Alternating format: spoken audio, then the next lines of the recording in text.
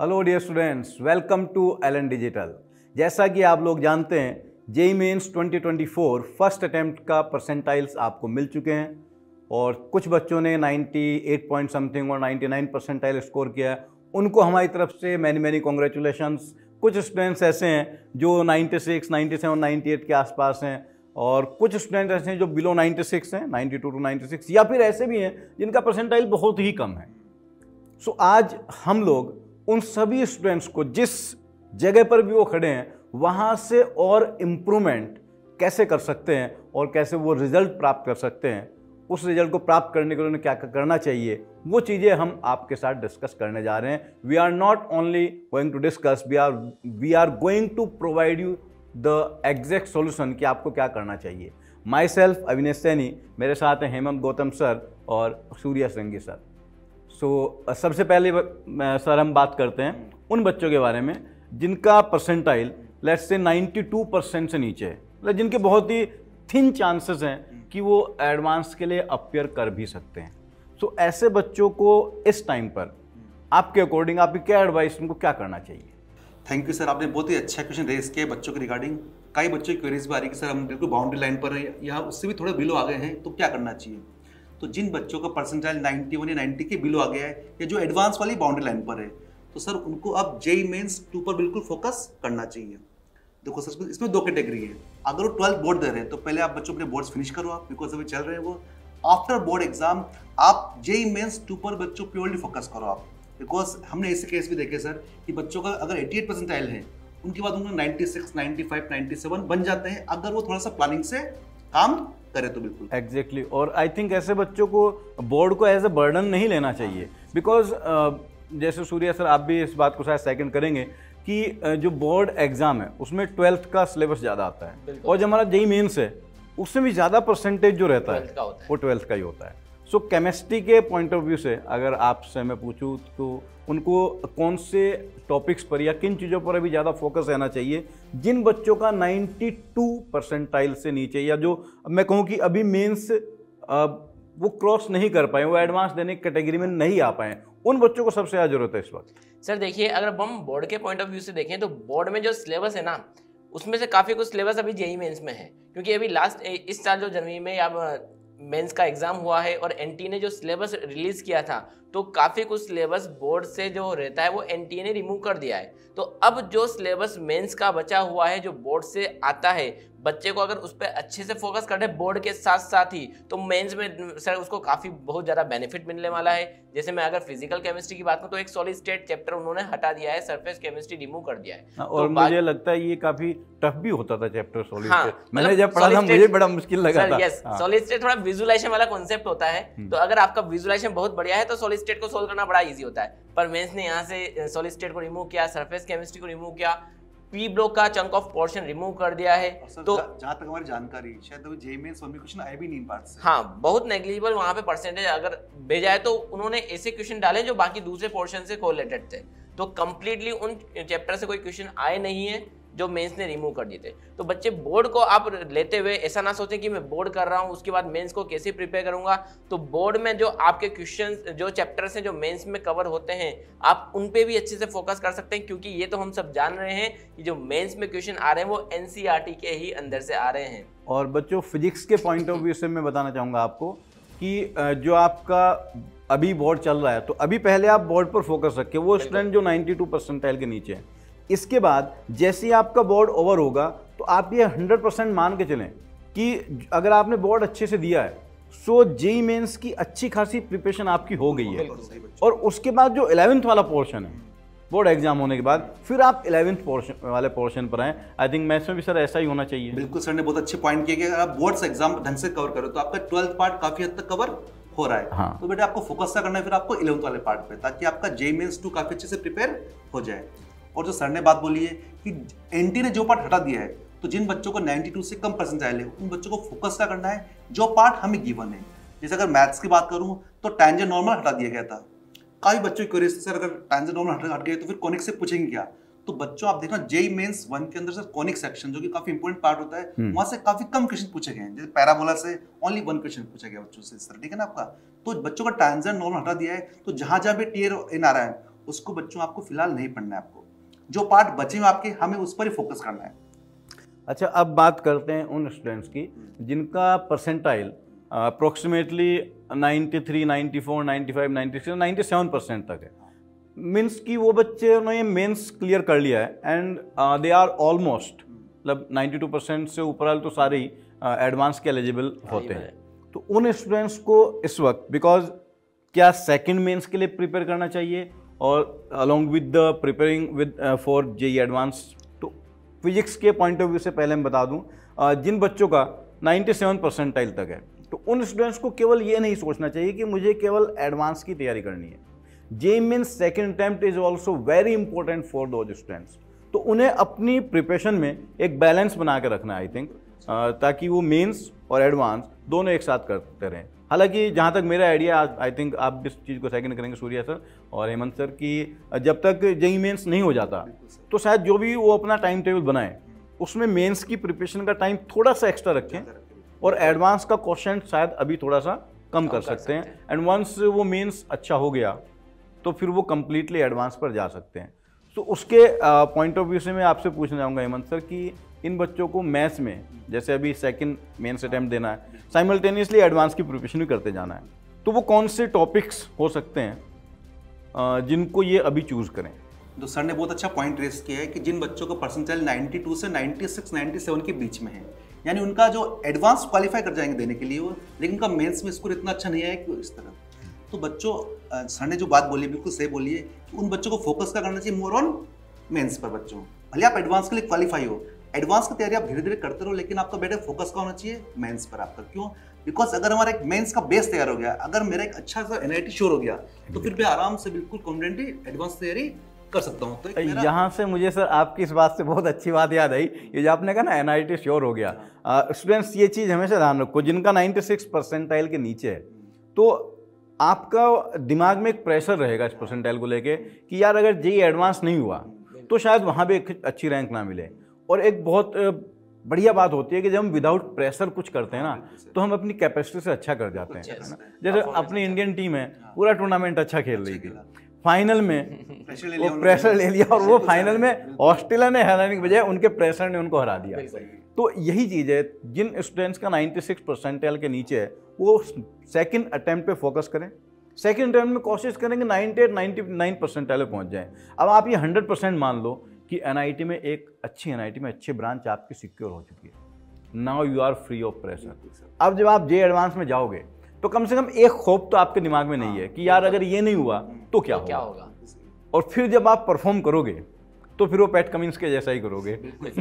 तो सूर्या सर आप इस बारे में केमिस्ट्री के पॉइंट ऑफ़ व्यू से क्या कहना चाहेंगे? बिल्कुल जैसे बच्चों के भी कॉल आते हैं कि सर मेरा इतना परसेंटाइल बना है मुझे अब क्या करना चाहिए? तो जैसे आपने एक रेंज बताया है 92 से अगर नीचे वाला है तो उसको बिल्कुल केवल और केवल मेंस पे फोकस करना चाहिए। और मैं आपकी इस बात से बिल्कुल एग्री हूँ कि हमें एक स्टेपिंग हमारा एक स्टेप जो है हमारा एक टारगेट पहले फिक्स हो जाना चाहिए कि पहले मैं एनआईटी को शो कर लूँ। उसके बाद बिल्कुल फ्री ऑफ़ प्रेशर जैसे आप बोल रहे हैं तो बच्चा ईजिली फिर आई के लिए सोच सकता है। अब मेंस के लिए अगर बात करें तो बच्चा, अब जैसे जब जब से ही मेंस का रिज़ल्ट आया तो बच्चा पूछा है कि सर, हम क्या कर रहे हैं? अब बहुत फ़ोन आ रहे हैं। तो बिल्कुल जो आपका मेंस का सिलेबस है, उसके हिसाब से बहुत टफ लेवल पर भी जाने की ज़रूरत नहीं होती है मेंस के लिए। तो फ़िज़िकल में या आईओसी में या ओसी में, तीनों में अगर हम बात करें तो इजीली एनसीईआरटी को फॉलो करते हुए एनसीईआरटी लेवल के क्वेश्चन बच्चा अगर अच्छे से प्रैक्टिस कर देता है, सर तो अब डेफिनेटली बच्चों ने भी एग्ज़ाम दिया हुआ है पेपर्स देखे हुए हैं, सारे पेपर रिलीज़ हो चुके हैं। सारे क्वेश्चन देख लिए तो बच्चा अब ये फ़ी, फील भी कर पा रहा है कि नहीं हम कर सकते हैं। अगर हम एक कांस्टेंट तरीके से मीन्स रेगुलर स्टडी कर रहे हैं रेगुलर प्रैक्टिस कर रहे हैं रेगुलर रिवीजन कर रहे हैं तो विद इन फिफ्टी डेज़ ये करना पॉसिबल है और 99 परसेंट सर मुश्किल नहीं है अगर हम हाँ, सोच लें तो। मुश्किल नहीं और आई थिंक एक सजेशन मैं और देना चाहूँगा मेरे हिसाब से तो आप लोग बताना ऐसा होना चाहिए नहीं। लाइक like जैसे मैं फिजिक्स की बात करूँ सो ऑलरेडी एन ने बहुत सारा सिलेबस रिमूव कर दिया है। आ, कुछ चीज़ें थी जो आ, बहुत कन्वेंशनल नहीं थोड़ी सी अलग टॉपिक थे उनको रिमूव कर दिया है। और जो अच्छे टॉपिक थे जो बच्चों को फिजिक्स में कॉन्सेप्चुअली ठीक से समझ में आते हैं वो रखे हुए हैं। सो so, मेंस के लिए जहाँ तक एडवाइस मेरे हिसाब से फिजिक्स में उनको ऐसा नहीं सोचना चाहिए कि ये चैप्टर छोड़ दूँ या वो चैप्टर छोड़ दूँ। बिकॉज़ मेंस में बहुत हाई लेवल क्वेश्चन आते नहीं हैं। मेंस में हर टॉपिक के एक बेसिक क्वेश्चन आता है। आप ये मान लो कि ज़्यादा से ज़्यादा एक फॉर्मूला बेस और बहुत मुश्किल क्वेश्चन कोई आएगा तो उसमें दो फॉर्मूले लग रहे होंगे वो भी मैथ्स में आएगा। शायद फिजिक्स और केमिस्ट्री में तो उतने नहीं आते। हैं। मैथ्स में मैं ज़रूर एक चीज़ चाहूँगा हेमंत सर से कि कुछ हमेशा ये रहा है हाँ। कि हम भी सजेस्ट करते हैं आप लोगों की जब भी आप मेन्स अटैम्प्ट करें तो सब्जेक्ट को प्रायोरिटाइज ज़रूर करें। पहले केमिस्ट्री करें फिर फिजिक्स करें और फिर मैथ्स पाएँ। हालाँकि सर मैथ्स के टीचर हैं लेकिन सर भी यही कहेंगे नहीं, कि नहीं। पहले केमिस्ट्री करें। चार पाँच साल से तो है हाँ। बस एक चीज़। हाँ। जो मैथ्स के लेंदी क्वेश्चन होते हैं जनरली ये देखा गया हम भी आपस में बात करते हैं कि यार मैथ्स लेंदी आया था उसके लिए आप बच्चों को कुछ गाइड करें। बिल्कुल सर ने एक बहुत अच्छा पॉइंट रेस किया है कि देखो बच्चों को चार पाँच साल का पैटर्न सर अगर देखें हम। हाँ। तो मैथ्स हमेशा लेंदी दे रहे हो मतलब ऐसा नहीं कि मैथ्स में जो क्वेश्चन है आप एक घंटे में कर पाओ उसको मतलब ठीक है ना? थोड़ा सा अगर हम एवरेज बच्चे के हिसाब से बात करें तो उसको बच्चों को घंटा चीज़ करने के लिए ठीक है ना? तो बच्चों जहाँ पर लेंदी क्वेश्चन आते हैं जहाँ पर आपके तीन चार टॉपिक मिक्स हो गए तो ऐसे में फ़िलहाल हमें अवॉइड करना चाहिए। बिकॉज़ हमारे पहले केमिस्ट्री करो बच्चों फिजिक्स करो जब मैथ्स का टर्न आएगा तो बच्चों हमें प्रायोरिटाइज करना है फ़र्स्ट हमें इजी और मीडियम अब आती बात की सर इजी और मीडियम क्या होते हैं आपके? जो क्वेश्चन आपके फॉर्मुला बेस्ड है जहाँ पर आप एक सिंपल एक या दो फॉर्मुले लगाकर सोल्व कर पा रहे हो दैट इज़ इजी बच्चों। मीडियम मतलब जहाँ पर आपको थोड़ा सा उसमें कॉन्सेप्टली देखना पड़ेगा उसको। तो जो क्वेश्चन विद इन टू और थ्री मिनट सोल्व होते हैं मैथ्स में वही करना चाहिए। जहाँ पर तीन चार चैप्टर मिक्स आ गए थ्री डी पीएनसी मिक्स कर दिए इस तरह बच्चों जहाँ पर आपको लग रहा है पता है कि सर हो जाएगा मुझसे। हाँ। मुझसे हो जाएगा मुझे पता है कैसे करना है। लेकिन time हमें लगेगा। पाँच सात मिनट लग रहे हैं। तो बच्चों उनकी जगह हम दो तीन क्वेश्चन केमिस्ट्री या फिजिक्स कर लें that is a more important I think sir uh, और स्पेसिफिकली अगर कैटेगराइज करूँ मैं इसको तो मैथ्स में भी ऐसा होता होगा uh, कि एक चैप्टर है क्वेश्चन इस तरीके से होगा कि एक चैप्टर का एक कॉन्सेप्ट या एक चैप्टर के मल्टीपल कॉन्सेप्ट या फिर मल्टीपल चैप्टर के मल्टीपल कंसेप्ट सो हमें मैथ्स में भी यही कोशिश करनी चाहिए कि पहले हम उन क्वेश्चन को अटैक करें जो वन चैप्टर वन कॉन्सेप्ट पे चैप्टर वन फॉर्मूला या वन चैप्टर वन कॉन्सेप्ट बिल्कुल। हाँ। उसके बाद उस पर जाए कि एक ही चैप्टर है हाँ। बट उसके मल्टीपल कॉन्सेप्ट यूज़ हो रहे हैं। और वो मल्टीपल चैप्टर मल्टीपल कॉन्सेप्ट पर शायद बहुत बाद में जाना चाहिए if we have ample amount of time अगर वहाँ टाइम बचा हुआ है तो। और फिजिक्स और केमिस्ट्री हमारे क्वेश्चन खत्म हो गए हैं। तब शायद करना चाहिए। सर तो एडवांस में थोड़ा फ्री होते हैं इन चीज़ों से ठीक है? बिकॉज़ एडवांस में हमको क्वेश्चन सही करना इज़ मोर इम्पोर्टेंट कितने कर रहे हैं दैट इज़ सेकेंडरी थिंग लेकिन सही कर रहे हैं दैट इज़ इम्पोर्टेंट पर मेंस में सर टाइम होता है बिल्कुल स्पेसिफाइड तो वहाँ पर हमें लेंदी क्वेश्चंस को बिल्कुल जहाँ मोर कैलकुलेशन वो बिल्कुल अवॉइड करनी चाहिए। First we to go with the easy and medium part Surya sir chemistry में भी अगर और अंदर जाके बात करें हम तो बच्चों क्या सीक्वेंस लगाना चाहिए? कौन सी केमिस्ट्री क्वेश्चन पहले कौन सा बाद में कौन सा उसके बाद में? बिल्कुल ये सर भी इंपॉर्टेंट पॉइंट है। हेमंत से बताया था तो मैं मन में भी था कि नहीं मैं भी बोलूँ। तो सर जैसे अगर अब जो लास्ट ट्रेंड देख रहे हैं जब से मेंस मतलब दो शिफ्ट में स्टार्ट हुआ है तो और सेक्शन ए सेक्शन बी आने लगा है तो मेजर ऑफ़ फ़िज़िकल केमिस्ट्री के क्वेश्चन सेक्शन बी में ही आ रहे हैं। और वहाँ पे भी चॉइस होता है कि टेन में से आपको फाइव क्वेश्चन सेलेक्ट करने होते हैं कि जिसमें आप बिल्कुल श्योर है, वो क्वेश्चन कर दो। अगर हम सेक्शन ए की बात करें सेक्शन ए में मेजर डी आईओसी ओसी के ही क्वेश्चन आ रहे हैं। और मैं खुद ये सजेस्ट करना चाहूँगा कि आईओसी को पीसी के रिस्पेक्ट में सॉल्व करना इनऑर्गेनिक केमिस्ट्री को फ़िज़िकल केमिस्ट्री के रिस्पेक्ट में सॉल्व करना बहुत ईजी है और लेस टाइम कंज्यूमिंग है। क्योंकि कॉन्सेप्ट बेस्ड है कि अगर आपको ये कॉन्सेप्ट पता है सपोज़ केमिकल बॉन्डिंग की बात करें और अब तो बच्चे के लिए थोड़ा सा और इजी हो गया है क्योंकि जो मेजर पोर्शन है आईओसी का उसमें पेरियोडिक टेबल हुआ केमिकल बॉन्डिंग हुआ कोऑर्डिनेशन हुआ और डी ब्लॉक हुआ। जो पी ब्लॉक से काफ़ी कुछ पोर्शन हटा दिया है तो ट्रेंड्स के बेसिस पे वहाँ पे क्वेश्चन पूछे जाने हैं। तो आईओसी बच्चे ने स्ट्रॉन्ग किया हुआ है। ओसी में जीओसी है रिएक्शन मैकेनिज्म है। और उसके अलावा जो नेम रिएक्शन है, उनको अच्छे से बच्चे ने रेडी किया है। तो वो ट्वेंटी क्वेश्चन भी बच्चों को काफ़ी कुछ कॉन्फिडेंस दे जाते हैं। और फिर बच्चे पे टेन में से आपको फाइव क्वेश्चन सेलेक्ट करने होते हैं कि किसमें आप श्योर है? और अभी जैसे सर आप बोल रहे थे कि जैसे फॉर्मूला बेस्ड तो अभी तो फ़िज़िकल में सर ऐसा ही है, जो मेजर ऑफ़ क्वेश्चन आ रहे हैं, वो फॉर्मूला बेस्ड ही है। तो बच्चे को अगर फॉर्मूलाज भी पता है तो भी बच्चा उसको ईजिली अटेम्प्ट कर सकता है। तो आप यही कहना चाह रहे हैं केमिस्ट्री में इनऑर्गेनिक ऑर्गेनिक और फिर फ़िज़िकल बिल्कुल। और फ़िज़िकल में ही कहीं फंस सकता है वो कॉन्सेप्ट लगाने में? नहीं सर बस वो फॉर्मूला बेस्ड क्वेश्चन आ रहा है। तो ऐसा फंसने वाला क्वेश्चन अभी एनटीए दे नहीं रहा है। बट टाइम लग सकता है। हो सकता है दस में से दो क्वेश्चन ऐसे हों जो फंसाने वाले हो, पर एनटीए। ने हमें बच्चों को चॉइस दिया हुआ है कि दस में से आप पाँच क्वेश्चन वो देख लो। क्योंकि सर यहाँ पे मेंस में और एडवांस में दोनों में एक आर्ट ऑफ़ सिलेक्शन बच्चे को आना चाहिए। अच्छा जैसे एक जनरल वो रहता है कि आईओसी और उसी का क्वेश्चन तो ऐसा आएगा कि बेटा हो रहा है तो इससे हो रहा है। Yes. नहीं तो नहीं होगा। नहीं हो रहा है। मतलब मेंस में शायद ऐसा नहीं आएगा कुछ सोचना पड़ेगा मैकेनिज्म वगैरह उसको जैसे ऑर्गेनिक में होता है रिएक्शन मैकेनिज्म या फिर ऐसा बहुत बड़ा कोई मैकेनिज्म सोचना नहीं पड़ेगा। बिल्कुल इसलिए शायद आप ये सजेस्ट कर रहे हैं कि पहले उन्हीं को अटैक बिल्कुल। और फ़िज़िकल में बिकॉज़ सर सोल्व करना होता है कॉन्सेप्ट आपको एक बार सोचना होता है हाँ, कैलकुलेशन हाँ हाँ। मैथमेटिकल कैलकुलेशन तो थोड़ा सा वो पीसी पीसी का जो कॉन्सेप्ट है वो ओसी और आईओसी से थोड़ा सा टाइम कंज्यूमिंग हो जाता है। तो बच्चे के लिए पहले वही है कि आईओसी ओसी देन पीसी का सीक्वेंस आप रखें। बाकी फिर बच्चे टू बच्चे थोड़ा सा वेरी करता है किसी का कैलकुलेशन बहुत स्ट्रॉन्ग है तो वो पहले पीसी को सॉल्व करना Okay. प्रेफर करता है। सर एक मुझे बच्चों की बहुत अच्छी क्वेरी भी आ रही है बच्चों की फ़िलहाल। कि सर अब चालीस पचास दिन बच्चे में ठीक है ना? सिलेबस तो बहुत सारा है मतलब फिजिक्स में केमिस्ट्री मैथ्स में। Right. सर थोड़ा फिजिक्स को अगर हम कंप्रेस कर सकते हैं या कुछ चैप्टर्स स्पेसिफाइड जो जे मेंस में ज़्यादा स्कोरिंग हो अभी। हाँ एग्जैक्टली अभी कुछ दिन पहले मैंने वेबिनार भी लिया था इस पर आप भी मेरे साथ थे जिसमें क्लियरली ये बताया था कि देखो ट्वेल्थ वाला पोर्शन हमेशा ज़्यादा आता है। अच्छा। उस ट्वेल्थ वाले पोर्शन में भी इलेक्ट्रोस्टैटिक से लेकर हाँ। ऑर्गेनिक करंट तक वो एक अराउंड पूरे पेपर का 30 परसेंट चंक वहाँ से बनता है। अच्छा और मैकेनिक्स काइनेमेटिक्स से लेकर रोटेशन तक 20 परसेंट वो बनता है। सो ये दो यूनिट 50 परसेंट कवर कर लेते हैं। तो बच्चों के लिए बहुत अच्छा पॉइंट है हाँ। बच्चे तो अगर इसको कर लेंगे तो और अच्छा इसके साथ फिर आप मॉडर्न फिजिक्स और ऐड कर दोगे तो वो सिक्सटी परसेंट हो गया। तो अगर ये तीन यूनिट अच्छे से करेंगे बच्चे सिक्सटी परसेंट हो गया। लेकिन बाकी चीज़ों को भी छोड़ना नहीं है। उसका भी एटलीस्ट आप एक part. पढ़ के जाएँ। फॉर्मूले सारे आपको याद हो बिकॉज़ क्वेश्चन आप बेटा देखो फिजिक्स में क्वेश्चन बहुत ज़्यादा टफ नहीं आता है मेंस में।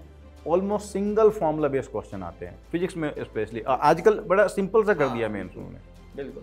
सो स्टूडेंट्स आई होप कि जिन बच्चों को 96 97 परसेंटाइल तक हैं वो बच्चे जिन्हें मेंस प्लस एडवांस पर फोकस करना है और फिर वो जो 90 परसेंट के नीचे थे जिनका मेंस अच्छे से क्लियर नहीं हो पाया जिनको मेंस पे क्लियर कर, ही फोकस करना है उन बच्चों को क्लियर हो गया होगा कि उन्हें क्या करना है।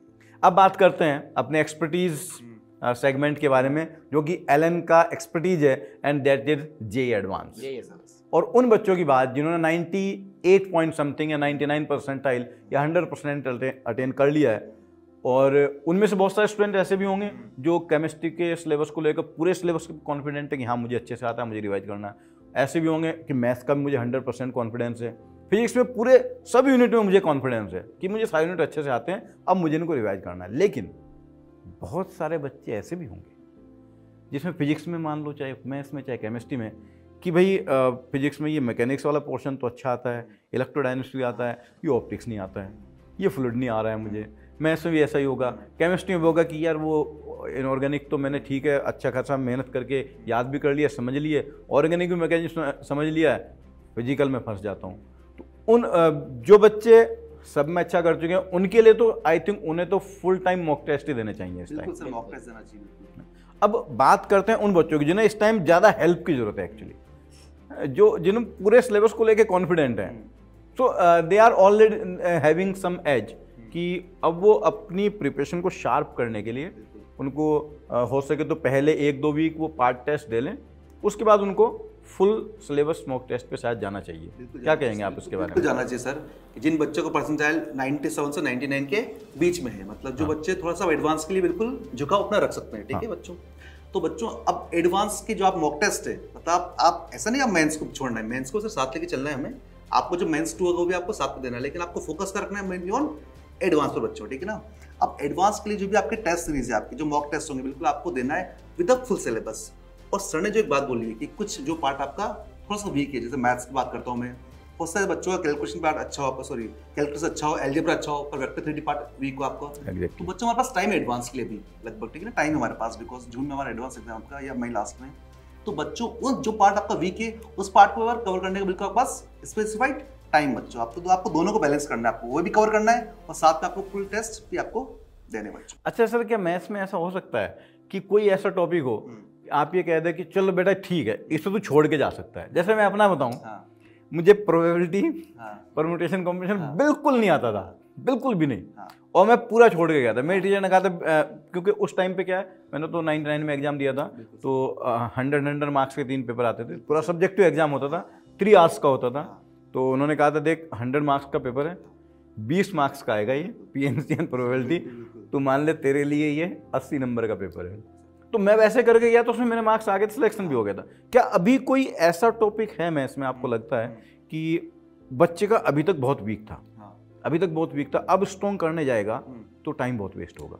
रादर देन कि जो उसका थोड़ा बहुत आता है हम्म। उसको वो इम्प्रूव कर ले उसे चाहे तो छोड़ ही दे बिल्कुल। क्योंकि एडवांस में ऐसा क्वेश्चन तो आएगा नहीं कि हल्का फुल्का करके सॉल्व हो जाए। तो सर ने बहुत अच्छी बात करी यहाँ पर कि एडवांस की पॉइंट व्यू से बात करें। सर अगर अपन एडवांस को देखें तो जाता है आपका थर्टी फाइव से फोर्टी परसेंट हम्म, और एडवांस में एक्यूरेसी इज़ मोर इम्पोर्टेंट कि आप जो कर रहे हो तो सही करो आप। यानी जो आपको आता है वो आपका हंड्रेड परसेंट होना चाहिए आपका। तो अगर बेटा मैथ्स की बात करते हो अगर मैथ्स में तीस चैप्टर्स है सर मान लो ऑन एवरेज ठीक है ना?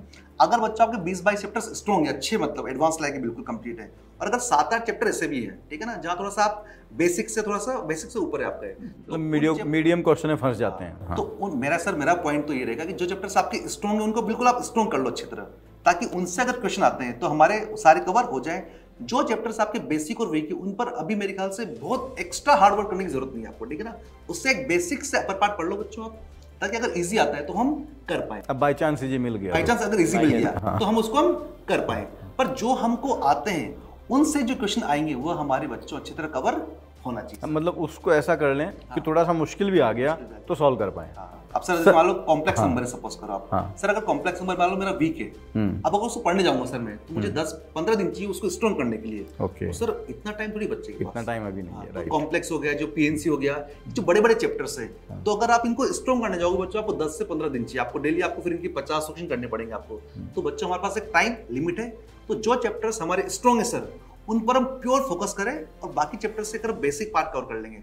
That is sufficient for advance sir chemistry में इस पॉइंट ऑफ़ व्यू से बेसिकली आप क्या सजेस्ट करेंगे कि अगर मान लीजिए जैसे सर ने बताया कि अगर पीएनसी कमज़ोर है या कॉम्प्लेक्स नंबर कमज़ोर है तो उसको आप मीडियम लेवल तक कर लो। लेकिन एडवांस के लेवल तक जाओगे तो बहुत टाइम देना पड़ेगा उतना टाइम आपके पास नहीं है।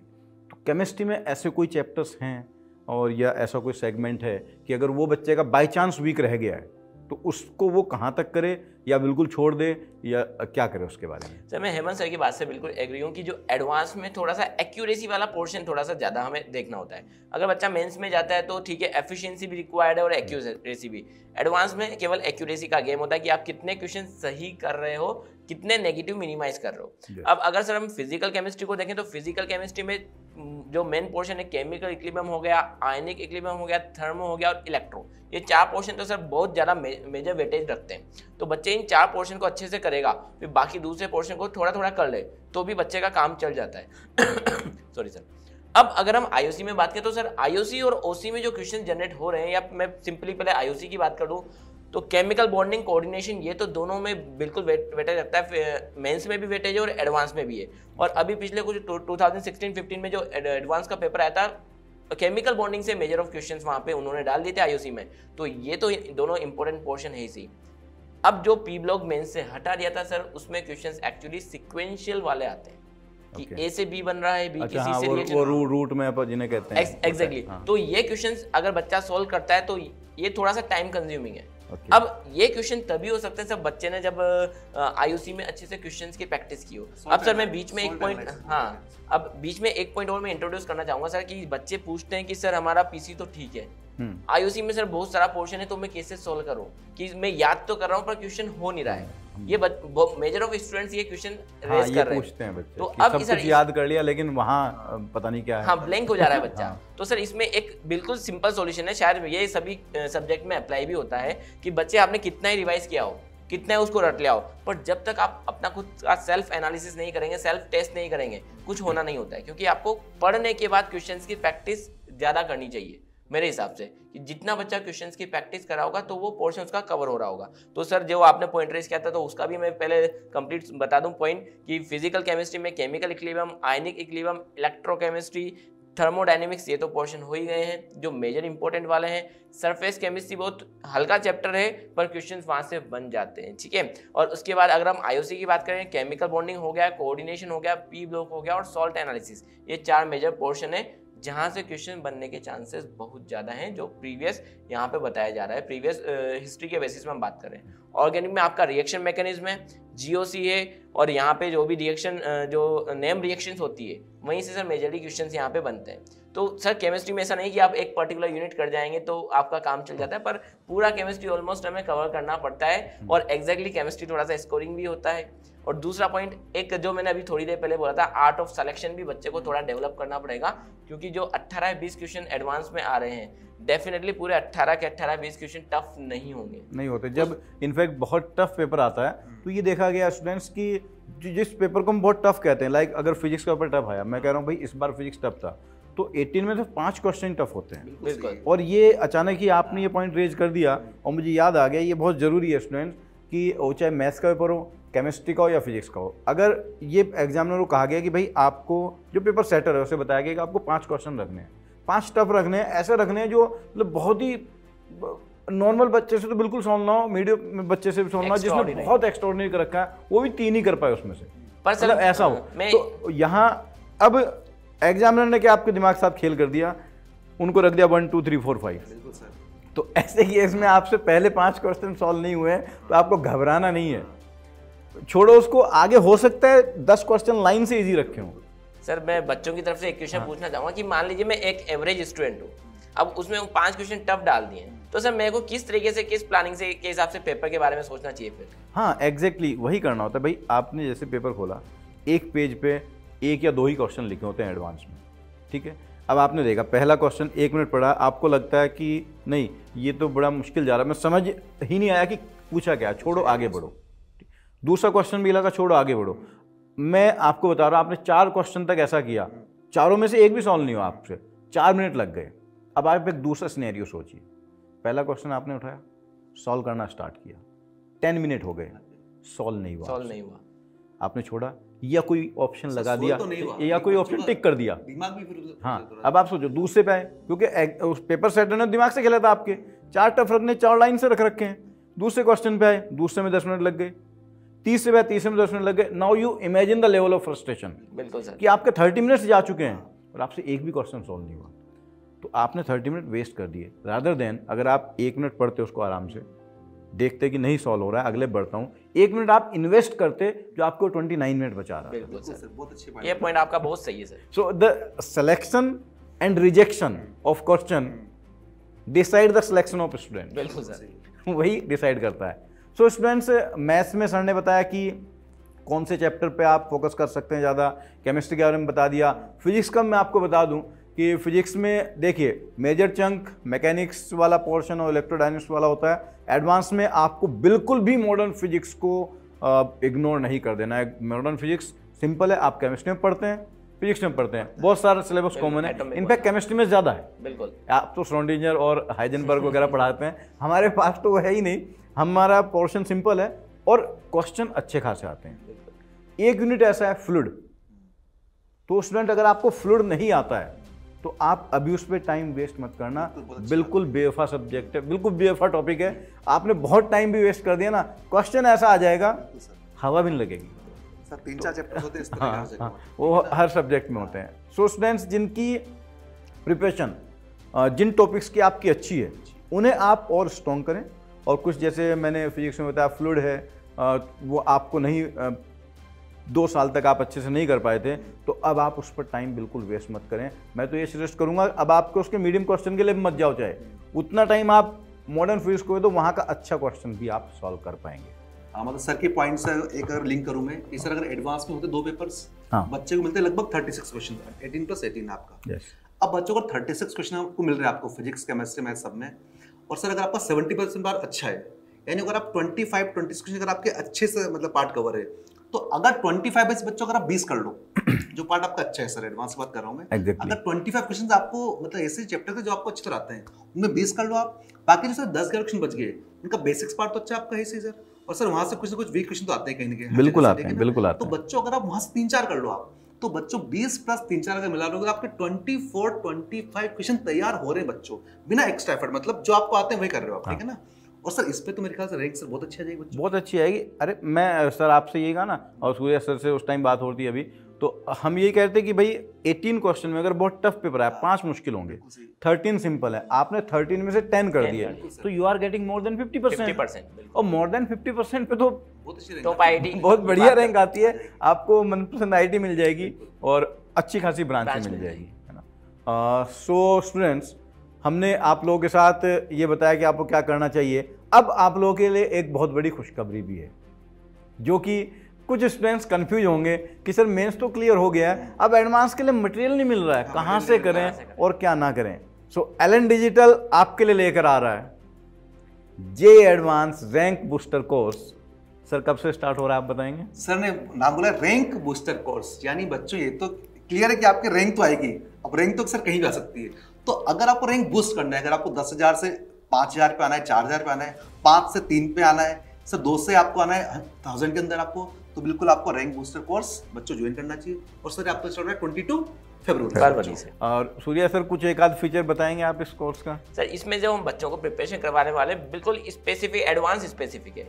तो मेंस में तो हमने बता दिया कि इजी इजी क्वेश्चन आता है। अब यहाँ पे बिल्कुल दिमाग खोलने वाले क्वेश्चन जो होते हैं। लाइव क्लास बिल्कुल लाइव क्लास डाउट सेशन होंगे डाउट सेशन मटेरियल मिलेगा टेस्ट मिलेंगे उनको यस सब तो कुछ होगा। टेस्ट भी होने वाले हैं डाउट क्लास भी होने वाला है रेगुलर क्लास रहेगा जिसमें हम अच्छे अच्छे क्वेश्चन बच्चों को प्रोवाइड करवाने वाले हैं। तो इतने सब कुछ फीचर्स रहने वाले हैं जो बच्चों को एडवांस में अच्छी रैंक लाने में सर हेल्प करने वाले हैं। सो स्टूडेंट्स अगर आप लोग श्योर हैं एडवांस की तैयारी करने के लिए तो प्लीज़ 22 फरवरी से जो हमारा कोर्स स्टार्ट हो रहा है, उसको ज्वाइन करें और अपनी रैंक को, अपनी प्रिपरेशन को और बूस्ट करें। This is all from our side and thank you very much all the best thank you very much